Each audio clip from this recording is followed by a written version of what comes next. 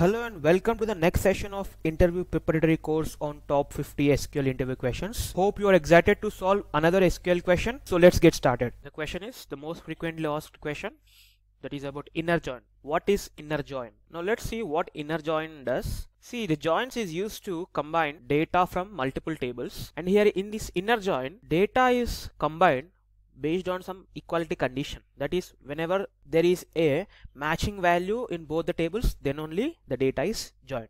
And one more thing is that there must be a common column in both the tables with the same data type. Then only we are able to join the table. For comparison of values there must be a common column. Common column in the sense that it should not taken in the sense that it should have same name.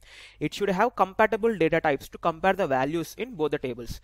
See the right table is joined with the left table row only if there is a matching for the left table row in the right table row. For example, we have a table called EMP. Observe the department number is a common column now which we are considering. We will display a table called DEPT. Select star from DEPT. See, in the DEPT column, we are having the same DEPT number column with four values 10 20 30 40 name need not be the same but val data types must be same. Here we are having number type number data type and here we are having number data type. And we are using this column for joining both the DEPT table and the EMP table. We have 10 20 and 30 departments in EMP table.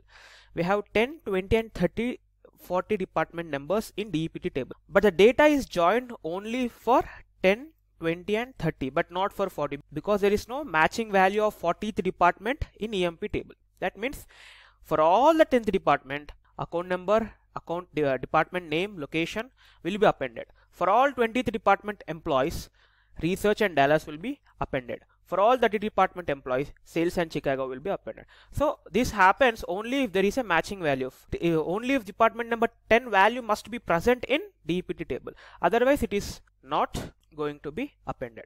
Now let's say a simple example. Select ename sal comma. We will display department number of so you can display department number in any table. So both are common. You can display in EMP table or DEPT table.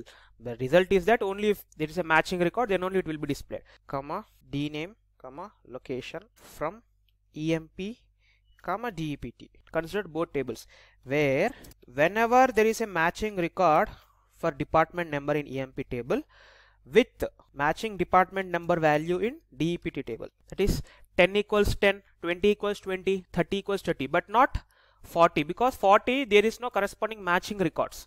For example, if you have a department number called 50, then for that particular row, no data will be joined because there is no corresponding matching record department number 50 in the DEPT table. Let's compile this query. 7 rows are displayed because uh, for all the 7 rows in EMP table there has been a existing matching record in DEPT department number. That's it. If you observe all the 10th department accounting New York values have been appended. For all 20th department Dallas research has been appended. For all 30 sales and Chicago has been appended. So if the, uh, for example if it is 50 department number 50 then it will not be displayed in the result set. Why? Because there is no corresponding department number 50 in the DEPT table. Understood no? How many rows are displayed in the result set of inner join it is very simple. The number of rows that are matched with the values of the left table with the values of the right table column. We have seven matches all the rows in DEPT number of EMP table have a corresponding match available in the right table that is DEPT number of the department number. Hence all rows are displayed. If there is only 5 values, 5 matching rows, then only 5 rows will be displayed. Instead of this we can use alias name because it will uh, make the process easy. Each time it is very difficult to use complete name of table. So how can we do that? Select ename comma sal d dot dpt number comma dname comma location from EMPE comma DEPT D. Now what happens is that all the data present in EMP will also be present in this alias name E and also all the data present in department table will also be present in this alias D. This is how you should create aliases where E dot DEPT number equal to D dot DEPT number. So output will be same only thing is that table name length can be reduced by using this alias name. Now we'll see some more queries related to this inner join. Display employees who are working in location Chicago from EMP and DEPT table. The question will be directly that sometimes they might you they might be asking directly what is inner join and sometimes they might not ask you directly but they will give a query and asking you to display the table columns that are not present in, uh, in that particular table and that column will be present in some other table.